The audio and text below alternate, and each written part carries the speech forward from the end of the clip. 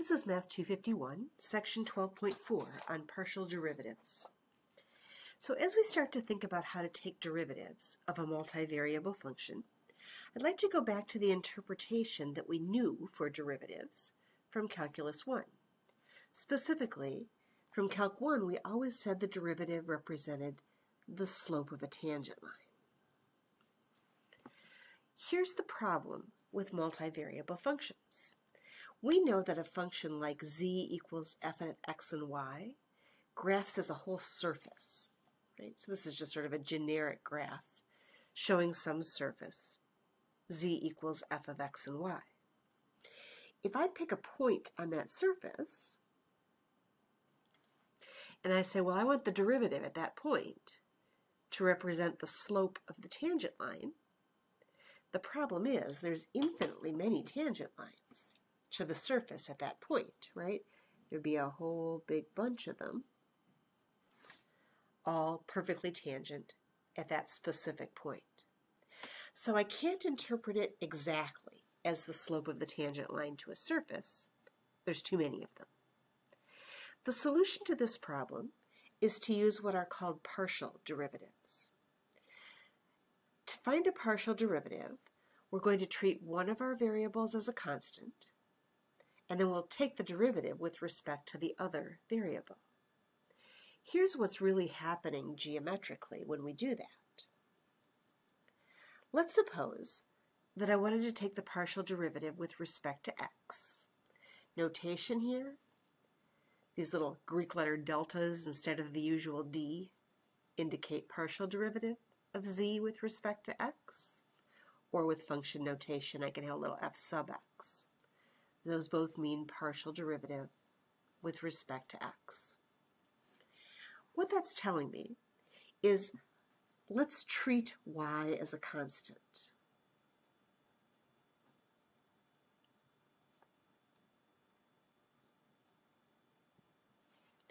And notice in the diagram, they've just sort of randomly selected some constant value b for y. And this vertical plane here has the same y value everywhere. Notice the axes are oriented a little differently than what we're used to.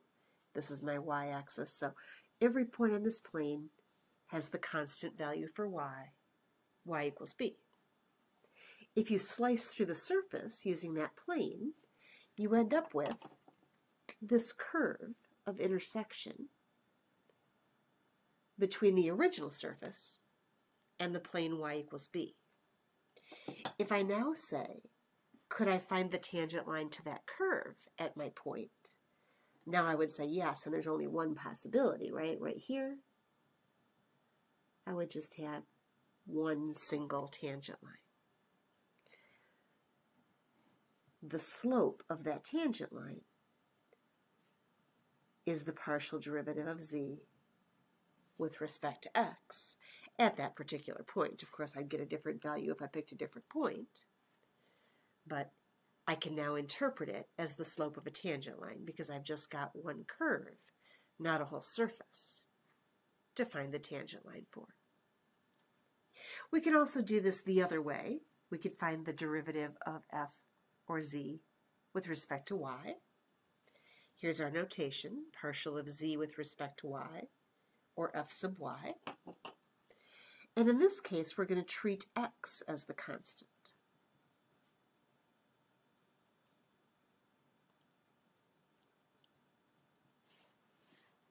So again, notice the x's are in the same kind of unusual position, but here's the x-axis. And we've selected the x value a to stay constant. And you can see this vertical plane at x equal a intersecting our surface. And we have this curve of intersection again between that plane x equals a constant and the original surface. And now at a particular point, it makes sense to ask about the slope of a tangent line. So again, the slope of that tangent line, in this case, would be the partial of z with respect to y. So that's what's going on geometrically. We can still use the slope of the tangent line interpretation, but we always have to kind of temper that with the idea that we're insisting that one variable or the other stays constant. Another interpretation for derivatives that we used frequently was the idea of the derivative being the rate of change. And we can also use that interpretation for partial derivatives. So if I said I wanted the partial derivative of z with respect to x, that's how fast is z changing with respect to x, again assuming y is held constant. The other way around, the partial derivative of z with respect to y, or rate of change of z with respect to y, assumes that x is held constant. Same interpretation, just put into words rather than geometrically interpreted. All right, in this section, we're mostly going to concentrate on the mechanics of finding partial derivatives, and we'll actually return to these interpretations as we study applications of the partial derivative a little bit later in the chapter. So, a few words about mechanics of finding partial derivatives.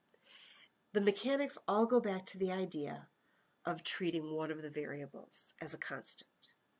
So in our first example, we've got a function of x and y here, and I would like to find both of the partial derivatives, f with respect to x and f with respect to y. So when I go to do f with respect to x, I'm going to remember here that as I do this, I have to treat y as a constant. So my derivative is going to be, what, uh, 8x cubed? That's just sort of normal. But then here, remember if y is a constant, the derivative of y squared, that's just a constant, and the derivative of any constant would be 0. Plus, here 5y cubed is a constant multiplier, and I'm going to multiply that by the derivative of x squared, which is 2x. So I end up with 8x cubed plus 10xy cubed.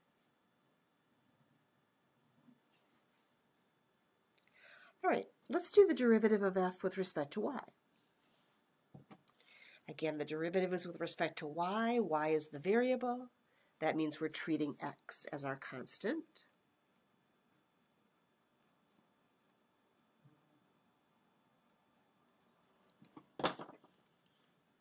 So in this case, 2x to the fourth, x is a constant, that whole term is constant, and its derivative is 0. Minus, y is our variable, so the derivative of y squared is 2y, just as usual. Plus, 5x squared all gets treated as a constant multiplier, and then I multiply that by the derivative of y cubed, or 3y squared giving me negative 2y plus 15x squared y squared.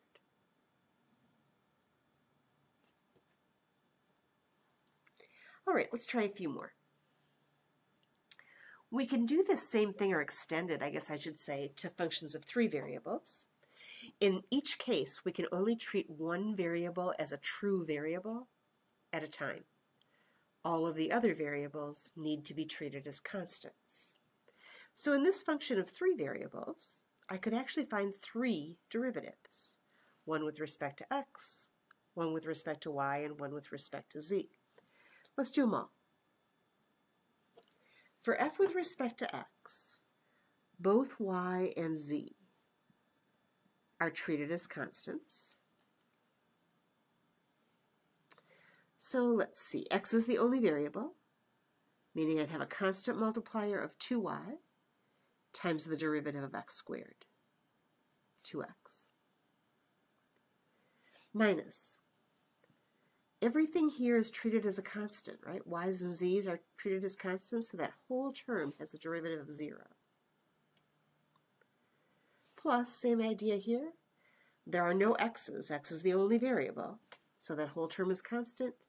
Its derivative is 0. So I'm just going to get 4xy.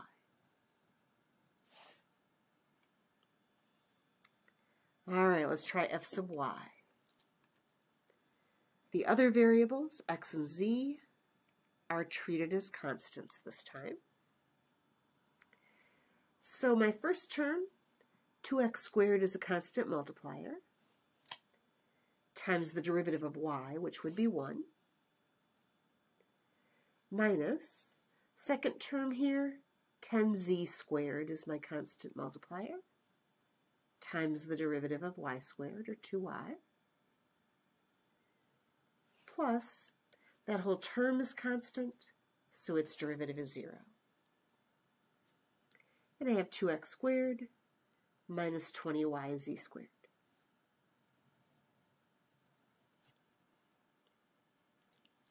All right, last one, f sub z. So x and y are treated as constants. And that means the whole first term is constant and its derivative is 0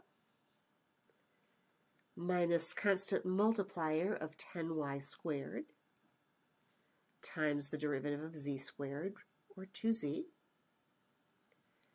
plus 24z squared. So I have negative 20y squared z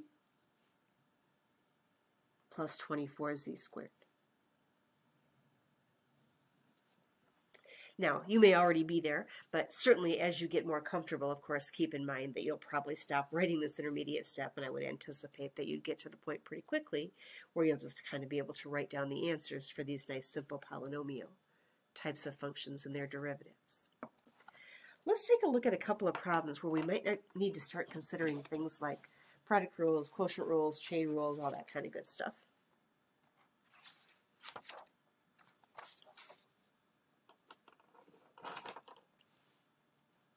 So in example 3, our original function is z equals e to the xy squared, and I'd like both of the derivatives. We'll start with the partial of z with respect to x.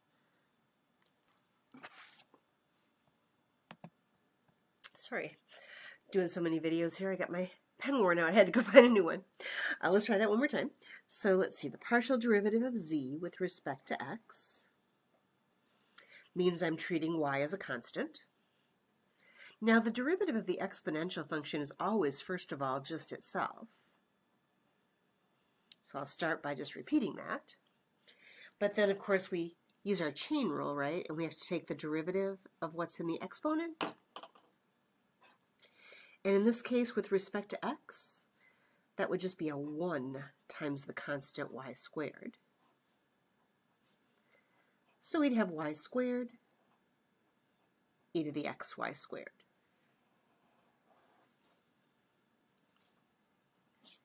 Similarly, the partial derivative of z with respect to y, we would still start out by saying the derivative of the exponential function is simply itself.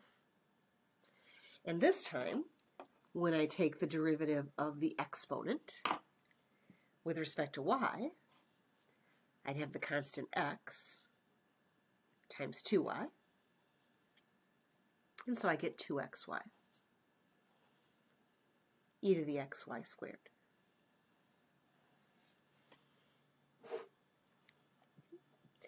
All right, let's try example four. Here's my function, y cubed times the cosine of xy. And again, I want both derivatives. So we'll start with the partial derivative of z with respect to x. And I claim that's actually the quicker of the two, easier of the two, however you want to think of it, because I do not need to think of this as a product rule problem when I'm doing the derivative with respect to x y is a constant, right? That means that this y cubed is a constant multiplier. And so I can just keep it the way it is. Constant multiplier of y cubed times the derivative, which the derivative of cosine xy would be negative sine of xy, times, here comes the chain rule part, with respect to x, this derivative would be 1 y. So I actually end up with minus y to the fourth sine xy.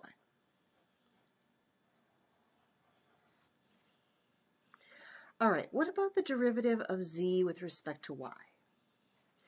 This time I do need to think about a product rule because notice that my variable, y, is in both factors. It's in the y cubed factor and it's also part of that cosine factor. So I am going to need to use the product rule here.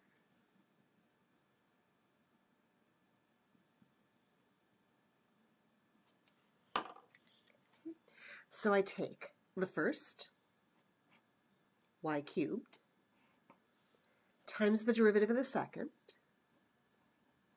negative sine xy, and then here comes the chain rule. Remember that the variable this time is y, so x is my constant multiplier, times the derivative of y, which is 1, plus second half of the chain rule, the second factor, cosine xy, times the derivative of the first, 3y squared. So I end up with negative xy cubed sine xy plus 3y squared cosine xy. Just the normal product rule, first times the derivative of the second, plus second times the derivative of the first. But then we had to keep in mind which was the variable and which was the constant. All right, one more example like these. We've got a function of three variables here in example 5. R, S, and T are our independent variables, and I'm actually only asking us to find G sub R and G sub T this time. G sub S, of course, would exist. I'm just not asking for it. So let's start with G sub R. First question to ask yourself, do you need a product rule? I'm going to argue that no, we do not.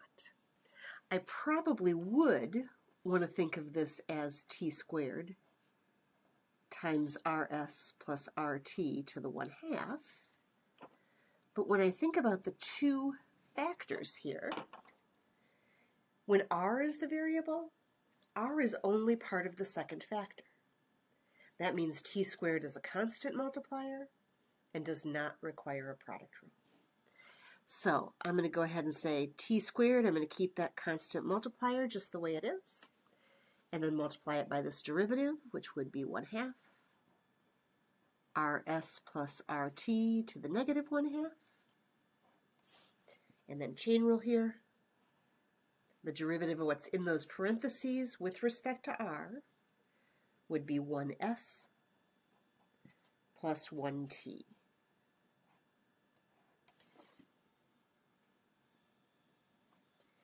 And let's see, not a whole lot I have to do here. Let me write that as t squared times s plus t. And then I've already got that 2 in the denominator. I'm going to go ahead and take that negative 1 half power and just rewrite it as a square root in the denominator. So there's a slightly cleaned up form of my derivative. All right, let's try g sub t. This time I would argue that I do need a product rule. The variable is t, and notice that t appears in both factors. So, product rule, we take the first times the derivative of the second, the first t squared, times the derivative of the second, 1 half rs plus rt to the negative 1 half. And chain rule here, with respect to t, notice the derivative of the rs is just going to be 0. The derivative of the rt would be r times 1, or just r.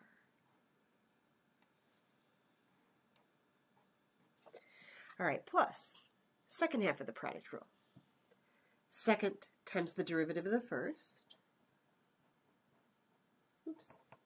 RT to the 1 half, so the second factor, times the derivative of the first, which would just be 2t.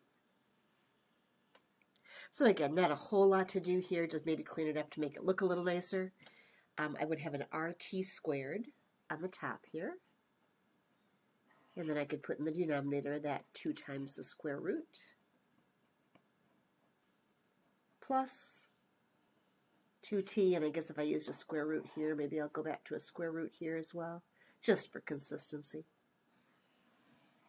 And write my final answer like that. All right, so that's just a little bit of practice in actually the mechanics of doing partial derivatives. And we'll come back and finish this section in one more video. We'll look at some higher order derivatives and then maybe just one quick application.